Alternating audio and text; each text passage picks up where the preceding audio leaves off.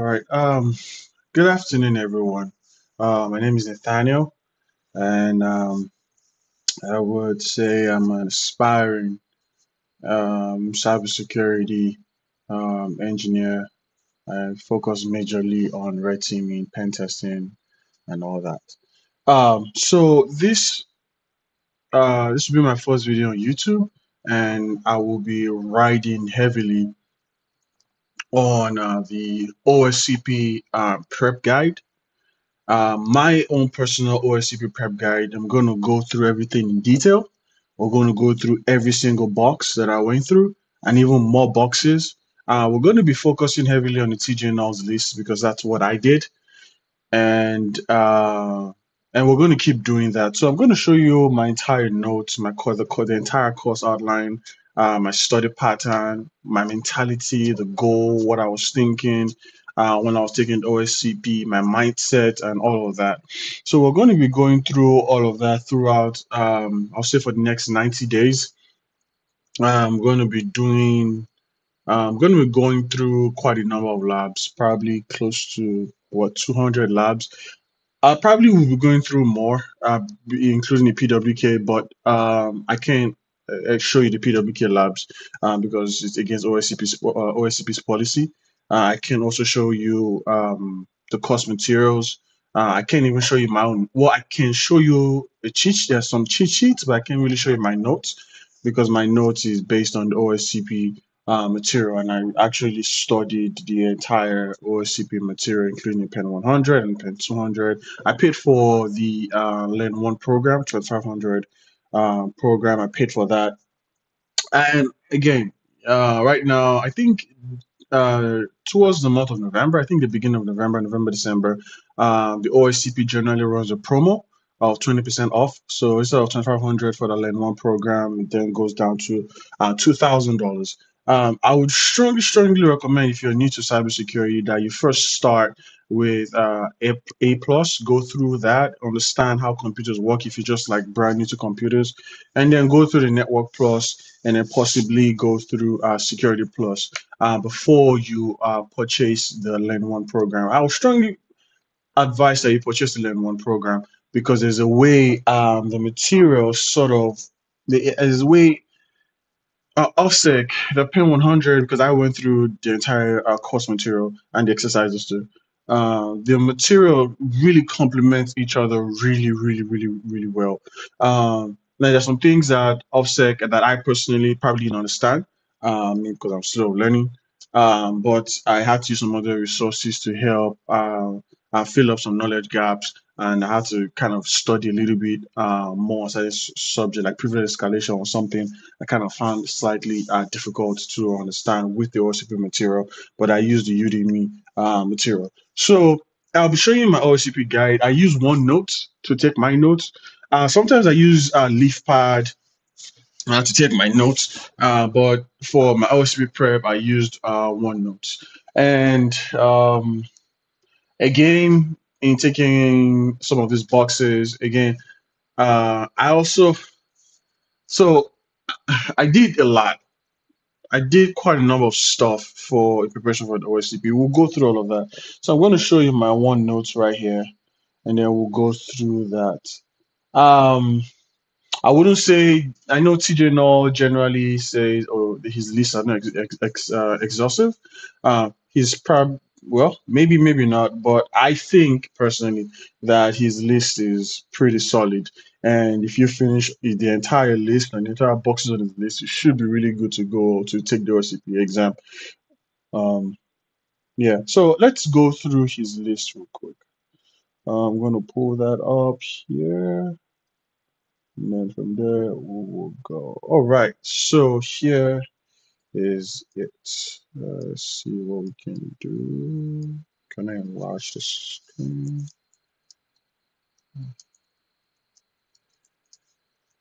Uh, oops. Okay, I don't really need this anyways. Um, okay. So let me show you I can see my screen. Okay. I mean, I can see mine. Just don't know if you all can see mine. Okay, so this is my OSCP guide over here. Okay, all right. Okay, so um, OSCP tests you on many areas, um, but uh, on their list Uh, they test you on things like Active Directory. Active Directory, I used um, different materials for that. Uh, one of the materials I used was Cyber Mentors uh, materials, and I also used uh, TryHackMe. Uh, before, I think I also used TryHackMe and some other Udemy materials. They also test you on Windows Pre, uh, Windows and its privilege escalation, Linux and its privilege escalation. Uh, sometimes you could get uh, a web application or a web server, and you might have to conduct some enumeration, and then finally um, get root on those targets. Uh, usually, the steps uh, we'll be going through will be more of uh, you get a reverse shell, when you get a reverse shell, then from the reverse shell, then you try to get the flag. Once you get the flag, then, then you try to uh, probably uh, get root uh, super user within that application. So we'll be going through quite a number of boxes, all the boxes I'm going through. Now, this is the thing I found out with um uh, this was the mindset or the goal that I had in mind. My goal wasn't necessarily to pass the OSCP. I had something else in mind. Uh, my goal was to become a good ethical hacker, and I realized that when it comes to pen testing, it's usually two things: your ability to be able to recognize patterns and your ability to be able to have enough methodology in your hacking quiver.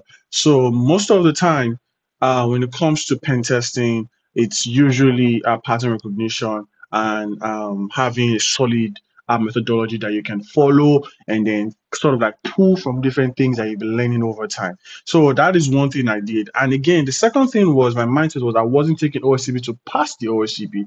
I was taking the OSCP to become a good ethical hacker. So, uh, which was one of the reasons why I didn't. This is one of the reasons why I went through the entire material. I did a lot of labs. Um, I think I did about 300 of those labs really. Um, so I did a lot, a lot of labs because after a while I knew I was confident enough uh, to take the OSCP, but I just sort of like uh, I just kept doing more boxes until uh, because I just wanted to just really become a great eth- ethical hacker. OSCP was just the foundation. Now I'm not gonna if you are serious about uh, cybersecurity and red teaming and all that pen testing, you should not stop at OSCP. The OSCP is just the foundation. The OSCP gives you a very, very strong foundation in cybersecurity. So you shouldn't stop there. You should move on. You should go into digital forensics. You should go into malware analysis. You should move and expand your knowledge in other OSCP uh, uh, certifications like the OSEP, the OSED, the OSWE, uh, which other one they have, uh, the OSEE, which is the highest certification. So um, now a lot of people don't like certifications, say certifications are not good, not allowed, but some people don't like that. But again, you don't know what you don't know. And certifications really help in bridging that that knowledge gap.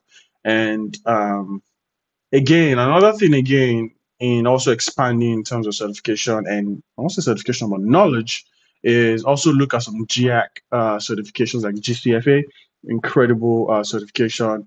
Um, can also look at the, uh, the GREM. I think you can compare the GREM with the I think OSED also. I think you can compare uh, that together. But anyways, uh, you should explore um, uh, other knowledge base to kind of solidify your knowledge and uh, your understanding in so many areas. So uh, again, I recommend you take certifications. Certifications help in getting jobs. It helps to validate your skill set and it also helps to kind of bridge knowledge gap. Now, if you're taking certifications just have certifications, okay, maybe then I may agree with the fact that certifications are not valuable, but they are extremely valuable and they really help uh, you out. Again, just there's no harm in getting uh, certifications. Again, uh, you just don't want to stop there. You also want to explore and research in other areas.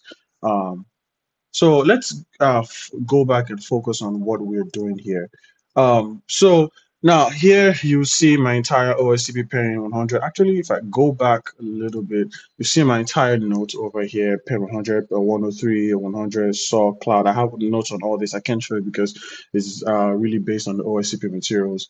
Um, Then I have my projects, my the wireless pen testing projects that I do on the side, um, internal penetration testing project, my web application um, uh, project, and then my Python project. I also I'll keep adding more stuff because I do write like a whole. Um, I do write my I, I do write. Uh, I, I have a lot of write ups that I have, and all all 300 boxes really.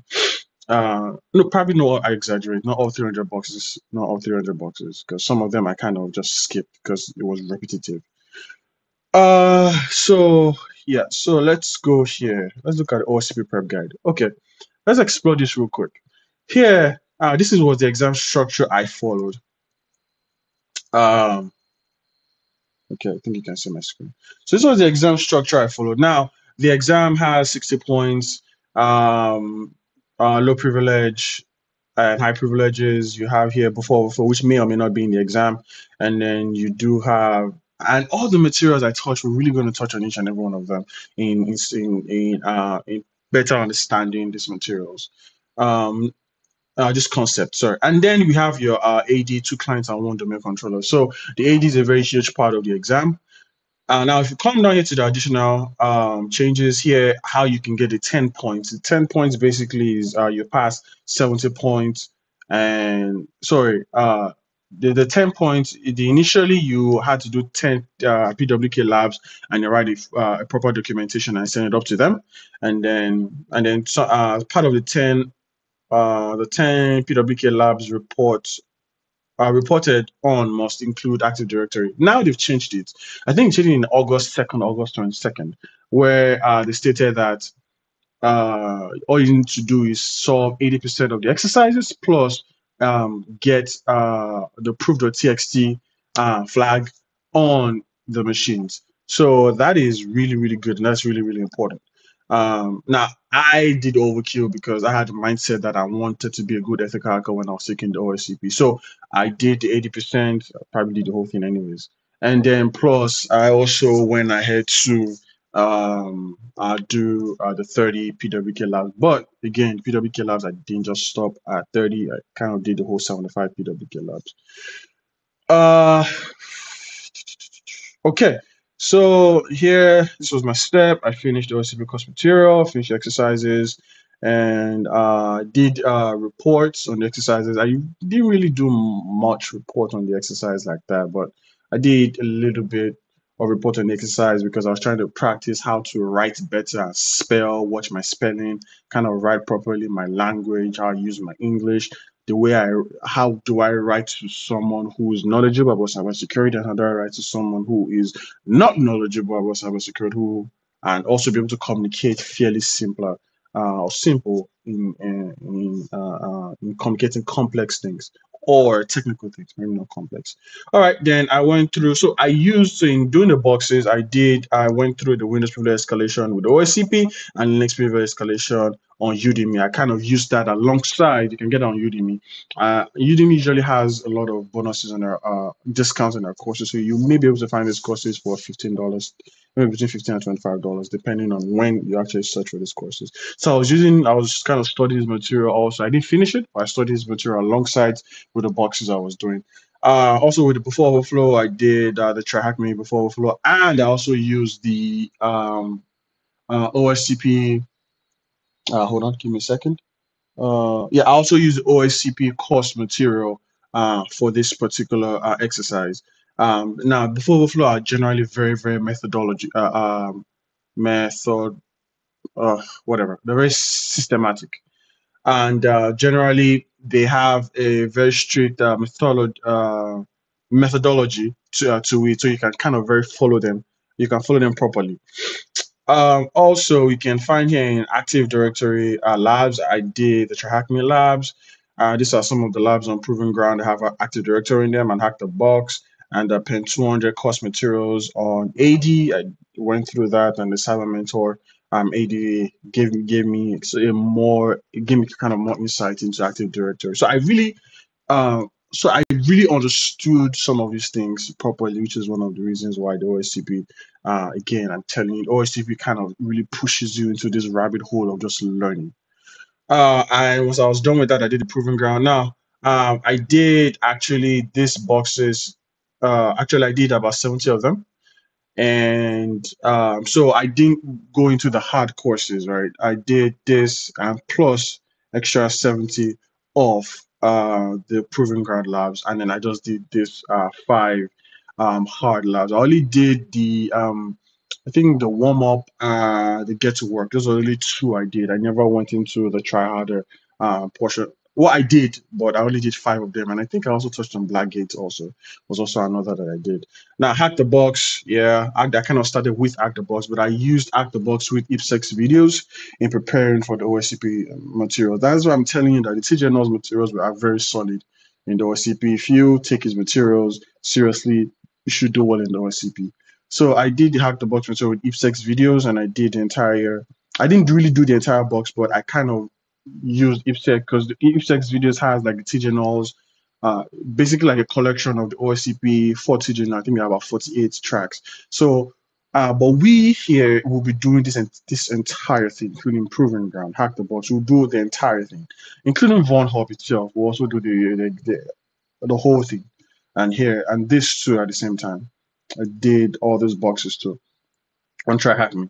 So we'll be going through this entire um, boxes. So we're except for the PWK. So we're looking at almost 200 boxes in total, and we're going to have all those 200 boxes in um, the channel. I'm going to create a whole playlist for them. So for those who are trying to get into the PWK, um, probably the only thing that you may not be able to have access to with me would probably be the course material, the course exercises, and uh, the